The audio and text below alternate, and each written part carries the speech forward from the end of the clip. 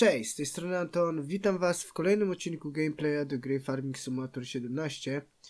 Witam Was po bardzo długiej przerwie. Z, z racji tego, że była ta przerwa dosyć długa, chciałbym przeprosić. Było kilka czynników, e, generalnie troszeczkę za dużo robiłem live'ów i przez to nie miałem czasu, aby właśnie tutaj pracować na tej, e, na tej farmie. Mm, Dlatego przepraszam. Oczywiście teraz zmienią się troszeczkę te proporcje. Generalnie skupię się właśnie na robieniu takich rzeczy, jakich robiłem tutaj wcześniej. Natomiast live'y będą takie uzupełniające. W momencie, kiedy będę miał troszeczkę więcej czasu, będę robił te live'y i będą one generalnie dotyczyły nowych map, tudzież e, nowych modów. E, Nie będę już raczej robił żadnych rozgrywek live. To sobie zostawię właśnie na taką serię, jaka jest to właśnie ta seria. Druga wielka zmiana, ale o tym już zapewne wiecie. Na farmie pokazały się, pojawiły się dwie, dwa nowe, dwie nowe maszyny. Valtra, Valtra T Gold Series. E, Jest to e, podarunek od Cynka.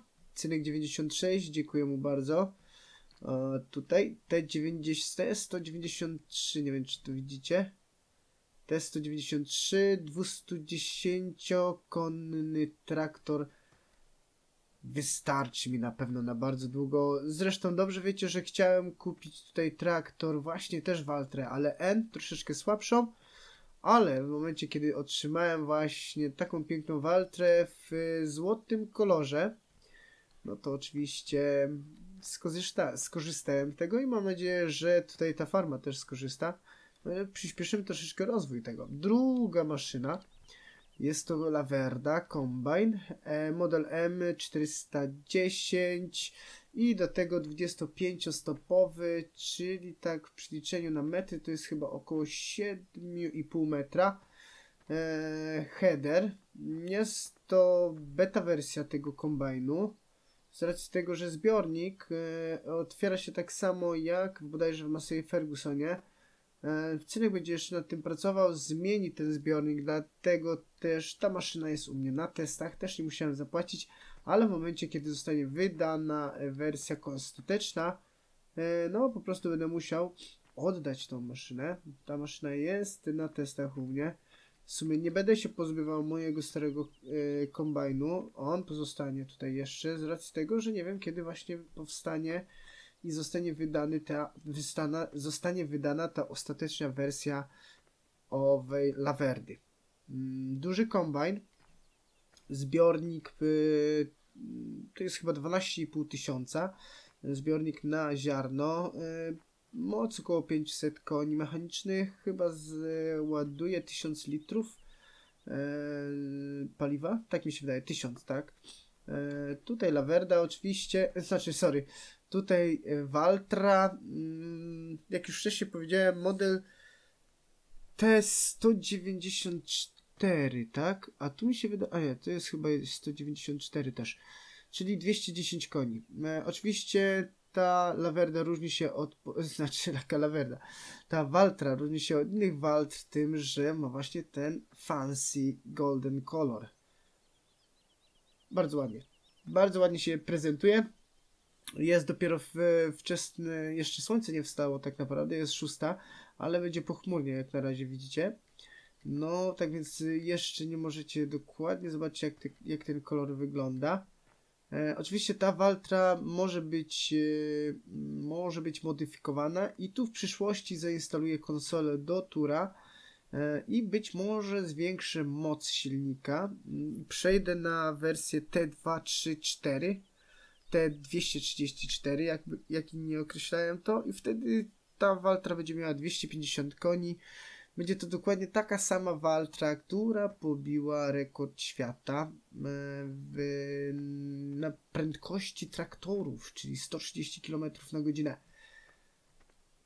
Chyba tyle wstępem. E, co dzisiaj będziemy robili? Będziemy dzisiaj. A, jeszcze dodatkowo do tej walki będziemy musieli dokupić najprawdopodobniej ciężar, bo nie mam ciężaru. E, już ją troszeczkę przetestowałem podczas nocnej zmiany. E, tutaj zbierałem trawę. Dlaczego? Ponieważ dzisiaj będziemy, będziemy robili małą kiszorkę. Więc ja sobie już pojadę. W sumie tutaj jest już e, cała ta przyczepa sobie zbierająca z trawą, tak więc ja sobie pojadę teraz na BGA i zaczniemy zaczniemy właśnie tą kiszonkę. Chociaż nie, może, e, może najpierw schowam ten kombajn, bo na razie nie będzie mi potrzebny. Do tego kombajnu niestety nie mam wózka.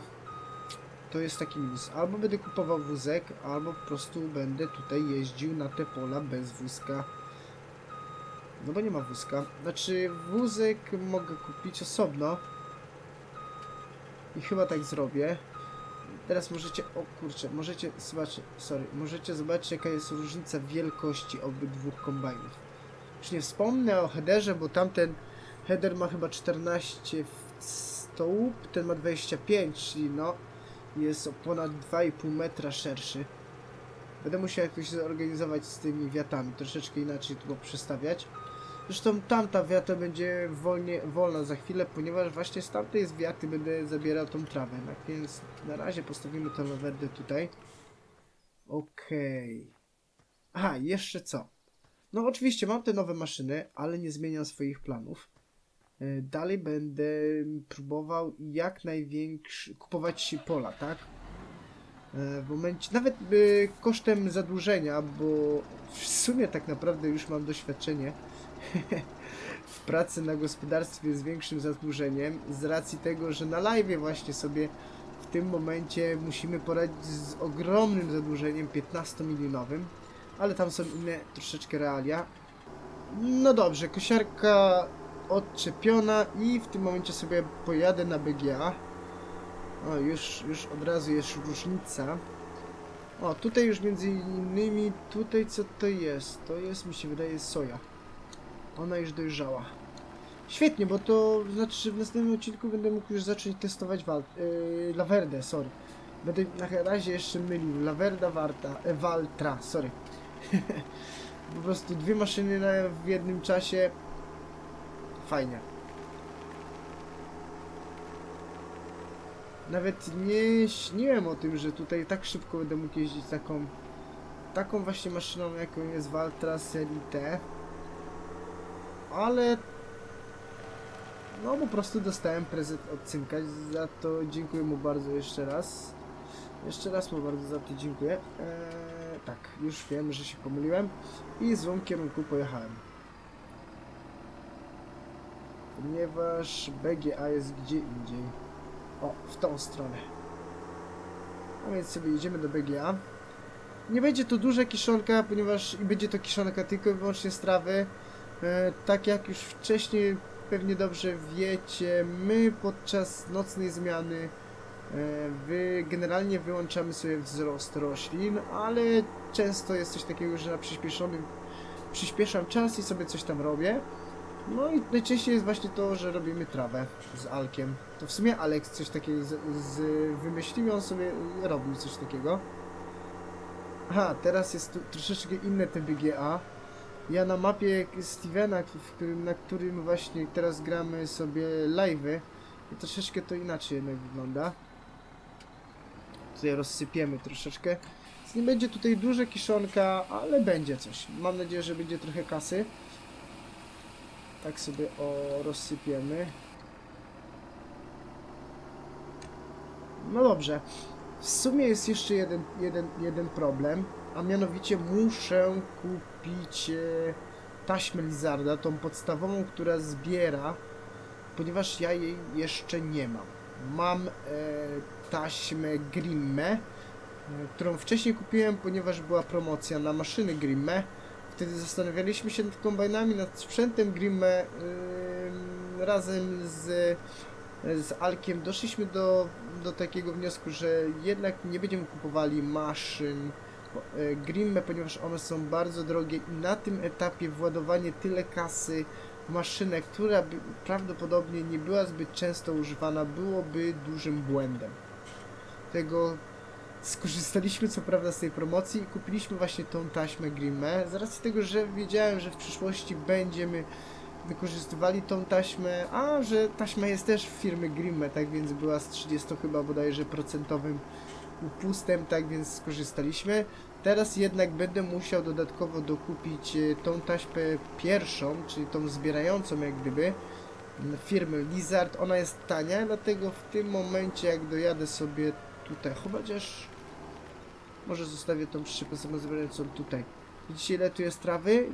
Troszeczkę nawet więcej mógłbym powiedzieć, że jest tej trawy u owiec. Ale to dopiero później.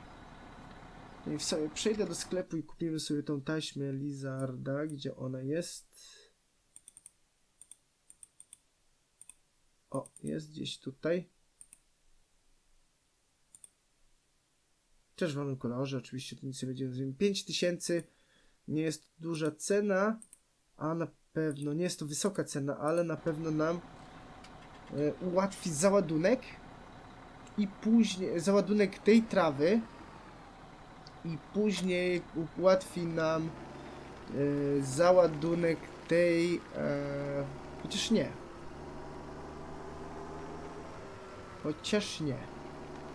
Załadunek trawy nam przyspieszy natomiast z kiszonką może być troszeczkę inaczej przy czym może być nawet taka sytuacja, że ja zrobię. O, tutaj już częściowo też widzę.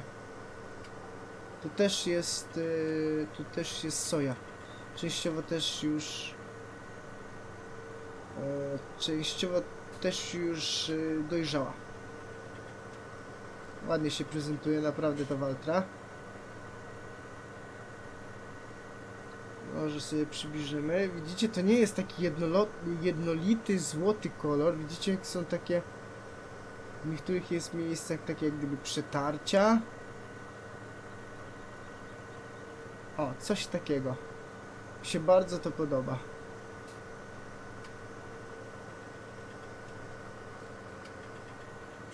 Bardzo fajnie. Ja uwielbiam yy, Waltrę. Traktory Waltry dosyć głośno jest ostatnimi czasy właśnie o traktorach Waltry. Niedawno wyszedł mod y, Valtra T234WRH chyba. World Record Holder? Coś takiego. W każdym razie to wyszła tam w Valtra, która pobiła rekord świata w prędkość, jaką uzyskuje traktor. Jest to 130 km na godzinę. Dobra, mam tą taśmę. Jest kurczę też taka, też taka różnica, jak się przysiada właśnie do tej walki, taka dynamika, w tym sensie, że yy, do przodu, do tyłu, to ona automatycznie to jest jednak troszeczkę tej mocy więcej niż wcześniej, yy, kiedy jeździłem. No jeszcze case nie jest tak źle, ale jest troszeczkę taki, no też silny, ale jest troszeczkę jak gdyby taki wolny. Już nie wspomnę o, o New Holandzie, tam jest, no oczywiście każdy ten traktor, y, no on jest po prostu dobry, te pozostałe traktory są dobre, bo tak naprawdę to moje gospodarstwo nie jest aż takie duże już w tym momencie, tak więc wszystkie traktory będą na pewno używane. New Holland będzie, ma konsolę, tak więc generalnie pracę z turem. E, Waltra będzie mm, do cięższych prac, ale z racji tego, że jest nowym sprzętem, to na razie nie będziemy jej tam mocno tak traktowali, będzie troszeczkę na takim małym dotarciu. Dopóki do puty nie sprawimy sobie większego pługa i prawdopodobnie kultywatora, już mam swoje tam opcje. Z racji tego, że troszeczkę grałem więcej na live, znalazłem kilka fajnych modów. Wcześniej mówiłem, że nie będę tych modów tutaj za dużo chciał mieć, ale rzeczywiście znalazłem kilka fajnych, takich bardzo mi się podobają mody, niektóre. I mam zamiar je tutaj zaimplementować, ale to za jakiś czas. Po prostu tych informacji dzisiaj chyba nowych może być za dużo dla Was. Tak więc nie będę Wam zdradzał, co będzie wprowadzał na to gospodarstwo.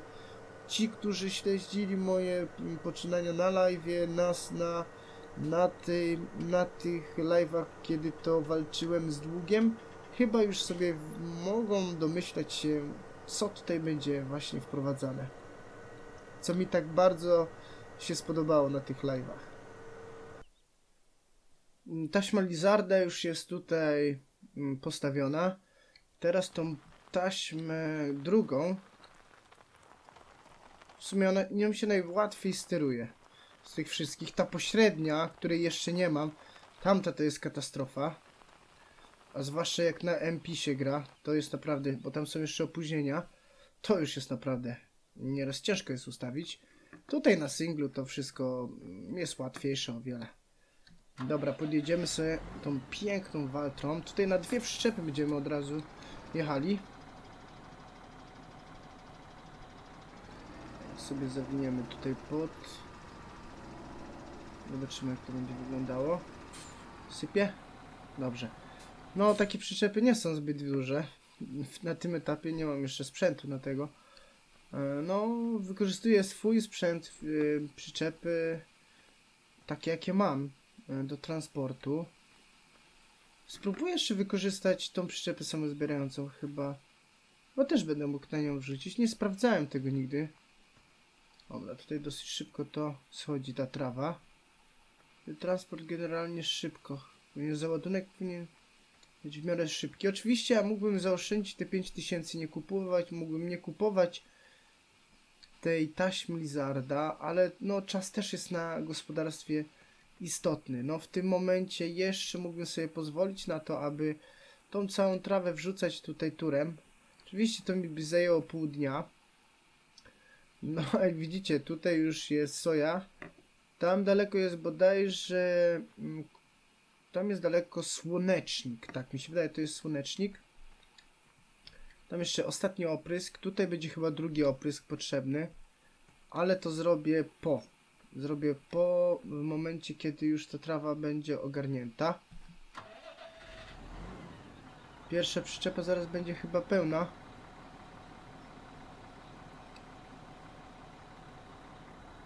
Okej, podjedziemy sobie drugą przyczepą. W sumie tutaj będzie dosyć dużo tej tej trawy. Może ze dwie, dwie takie dwa, te, dwie takie rundki zrobimy? Oj nie, chyba więcej. Jest tu jednak dosyć dużo tej trawy. Więc mówiłem wcześniej, kiszonka nie będzie duża. E, no ale zawsze jakaś kasa będzie dodatkowa. Mm. Aha, no wspomnimy jeszcze o siódemce, którą kupiłem e, dwa odcinki do tyłu. Ona już jest zaorana i powiększona ale o tym w następnym odcinku. Tam będziemy siać bodajże jęczmień. Tak mi się wydaje. Będziemy siać jęczmień. To wtedy Wam pokażę, jak ta siódemka teraz już wygląda. Jest naprawdę dosyć y, mocno powiększona. Dobra, czyli już mam te dwie przyczepy pełne. Więc moja sobie na BGA. Zakryję je jeszcze.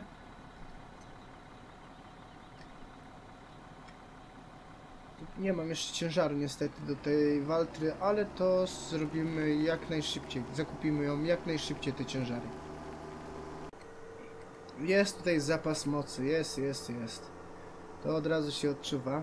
Jeżeli się jeździ innymi traktorami się na tym gospodarstwie i przesiada się właśnie w taką 210-konną jednostkę, to przy tych przyczepach, e, no to po prostu jest różnica. Ona ma tutaj dosyć duży zapas mocy, w tym momencie ta Waltra. Na pewno mi bardzo będzie... W sumie będę ją trzymał do samego końca, bo to jest prezent. Jak już wcześniej wspomniałem. Dobrze, rozładujemy to. Teraz się jeszcze zastanawiam, jak my to będziemy tutaj... E... Przyjadę pewnie chyba New Hollandem. O, może tak coś zrobię. I chyba będziemy robili, nie wiem czy będziemy robili taką metodą, ubijali, jaką robiłem na live'ie. Ci, którzy oglądali live'a wiedzą jak, to się, jak ja to robiłem tam. Chyba nie, ponieważ tutaj tej trawy nie będzie tak naprawdę dużo. No tu sobie wyładujemy też tak. W sumie to nie jest istotne, w jaką, czy będziemy wyładowali to do tyłu, na bok.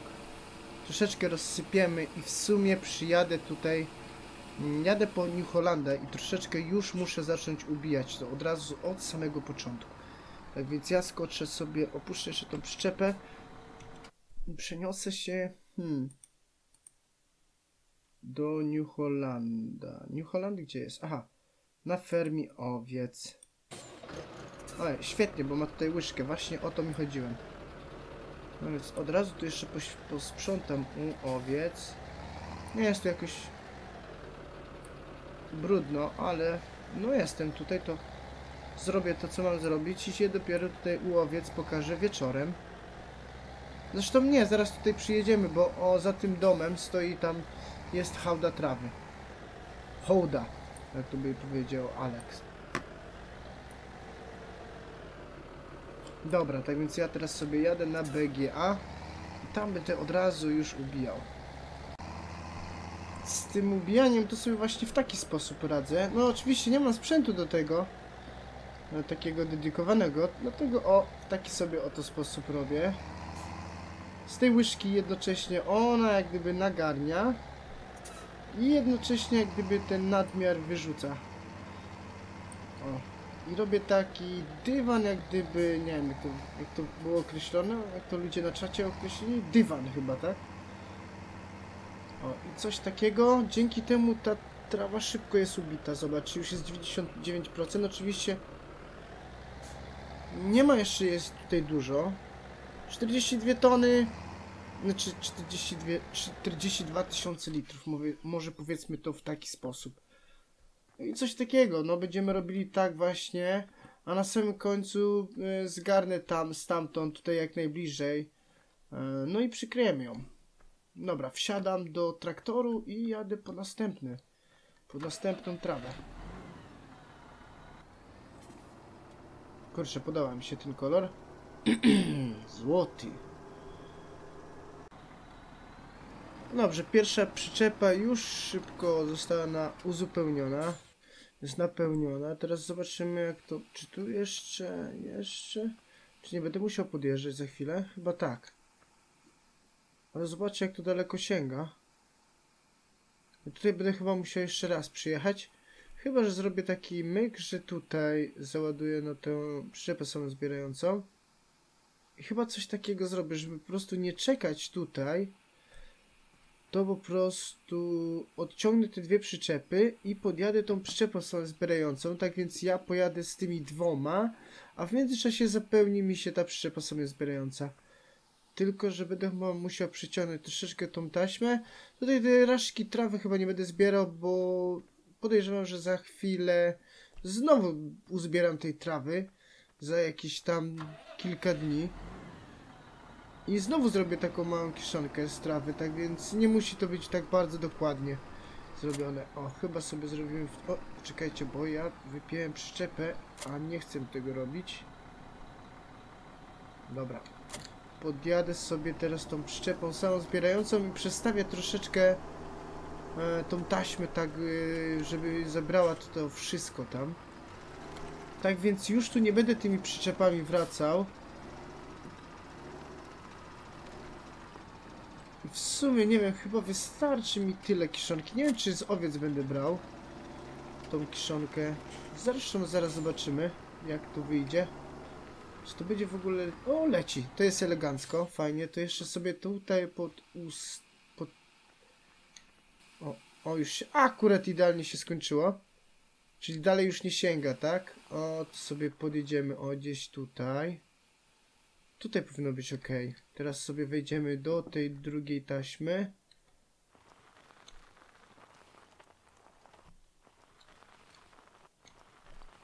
O, tak wystarczy, tak? No, będę musiał cofnąć tą przyczepą sobie zbierającą troszkę. Bo teraz się to przestawiło troszkę, ale... O, dobra. Wow, wow, wow.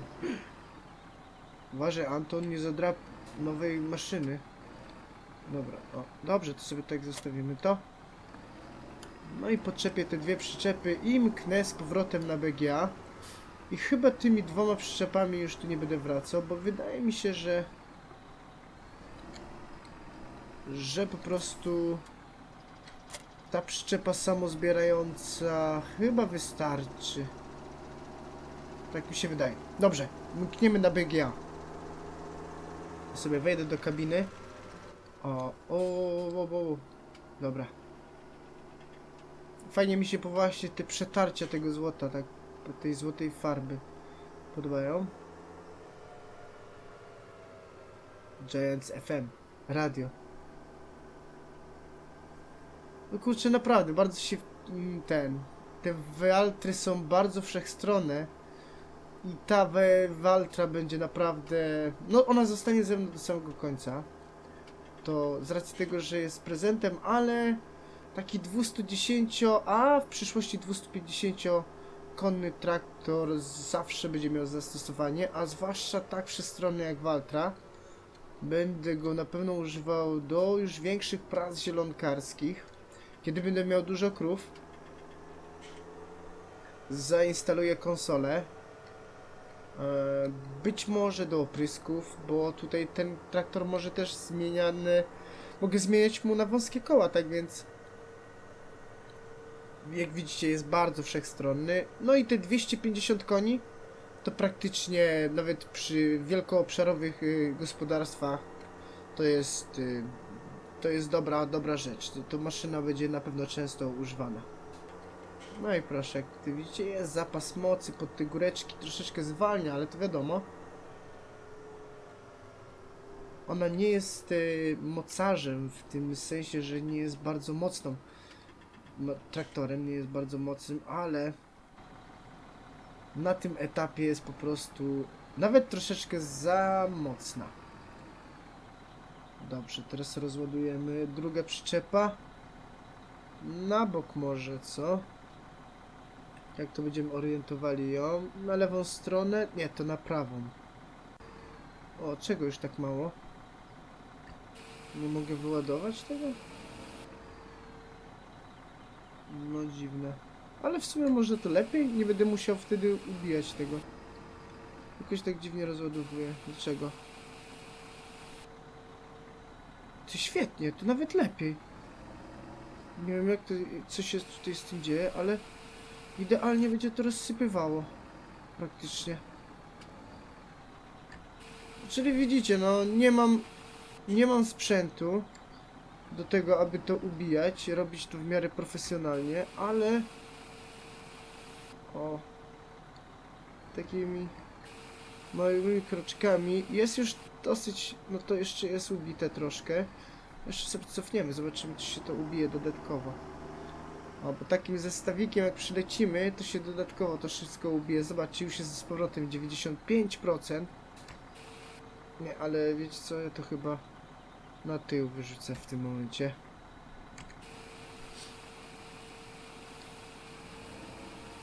Oj, oj, oj, oj, mogę trochę przyspieszyć to. Ale to i tak rozgarnę tym New Hollandem. Zresztą ta kiszonka troszeczkę mi czasu zajmie. E, Zrobienie jej, tak więc chyba rozciągniemy sobie ją na drugi odcinek. Żeby ten odcinek nie był za długi.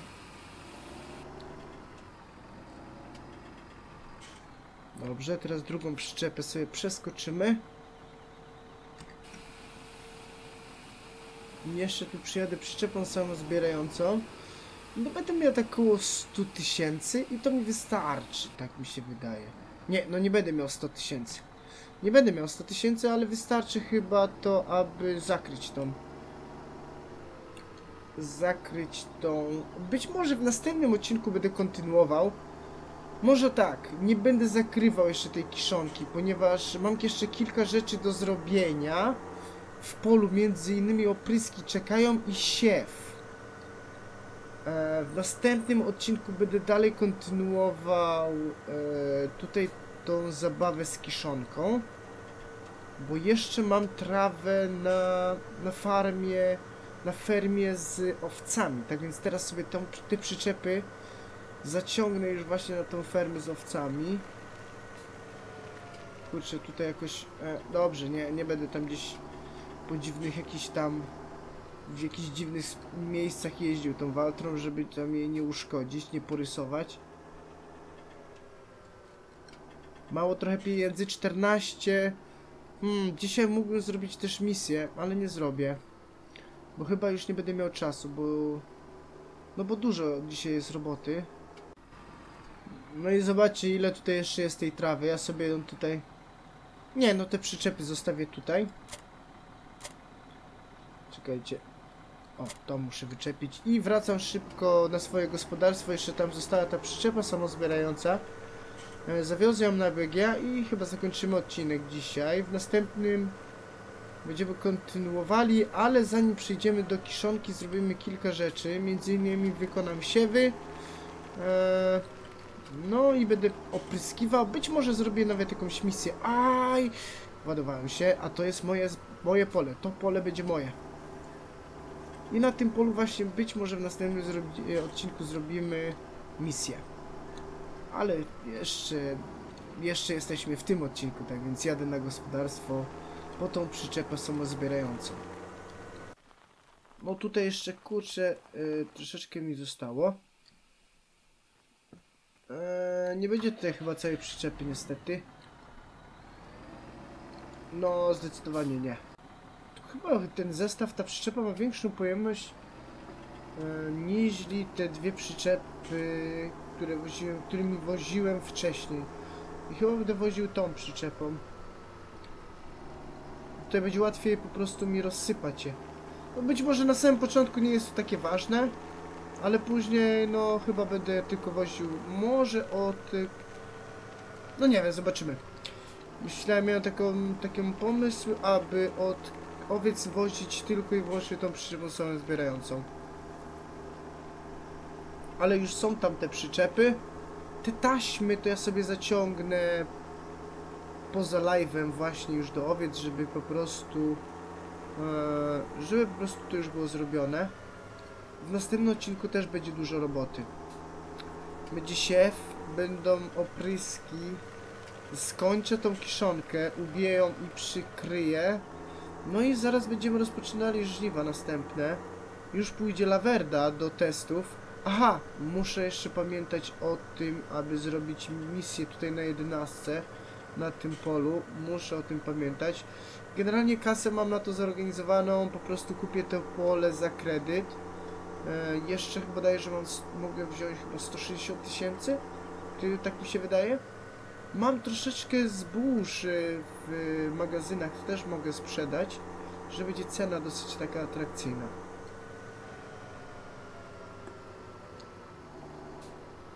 Uuu, jak teraz wjechać? Tutaj z przodu rozsypię to.